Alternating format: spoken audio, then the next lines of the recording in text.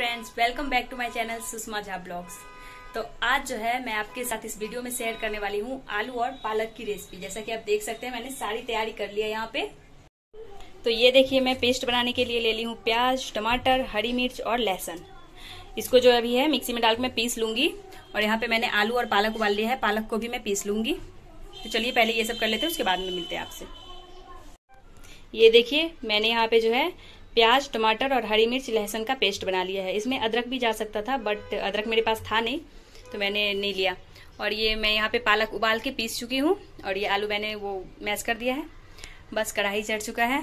अब gas on होगा, उसके बाद स्टार्ट करूँगी मैं। तो अब जो है मैं गैस को करूँगी ऑन। ये हो गया। और चलिए, अब कढ़ाई गर्म होने देते हैं।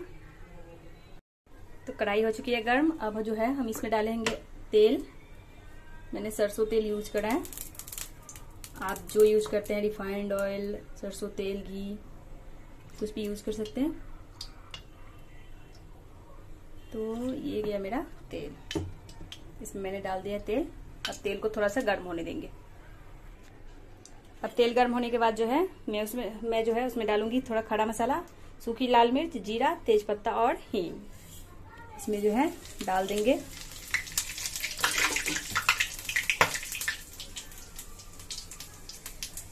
और गैस थोड़ा तेज कर देंगे। डालते वक्त मैंने गैस लो कर दिया था।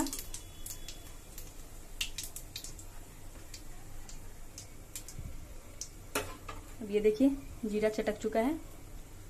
अब जो है हम इसमें डालेंगे जो पेस्ट बनाया मैंने, टमाटर का, वो डालूँगी। और गैस जो है कम कर देंगे हम डालते वक्त। ये डाल देंगे। इसके बाद हम इसको थोड़ा सा चला देंगे।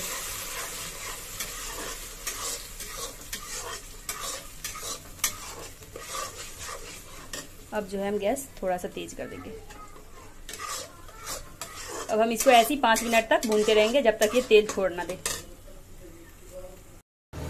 यहाँ पे टमाटर का पेस्ट जो है, भून चुका है। अब जो है, अब इसमें मैं डालूँगी खड़ा मसाला, नहीं, कूट जो है थोड़ा सा, धनिया का और धनिया पाउडर और लाल मिर्च पाउडर, हल्दी, नमक।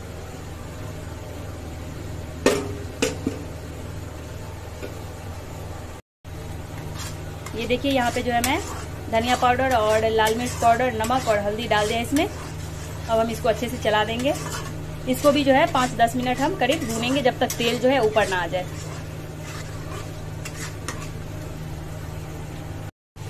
ये देखिए, मसाला जो है भून गया है पूरे और तेल जो है ऊपर आ चुका है।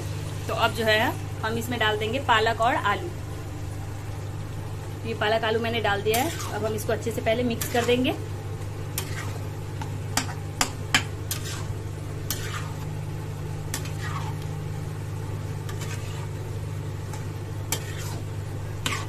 और गैस जो है हम तेज कर देंगे।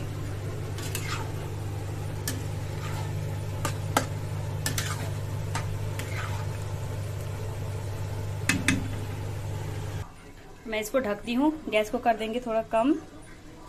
इसको भुनने देंगे अच्छे से। तो यहाँ पे मसाले के साथ पालक आलू अच्छे से भुन गया है। अब जो है हम इसमें डाल देंगे थोड़ी सी पानी।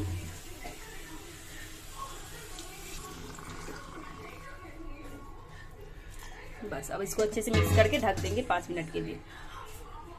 तो ये देखिए, सब्ज़ी बन के तैयार हो चुका है। तो अब जो है, हम जल्दी जल्दी गरम गरम सबको परोस देंगे, क्योंकि सबको भूख लगी हुई है।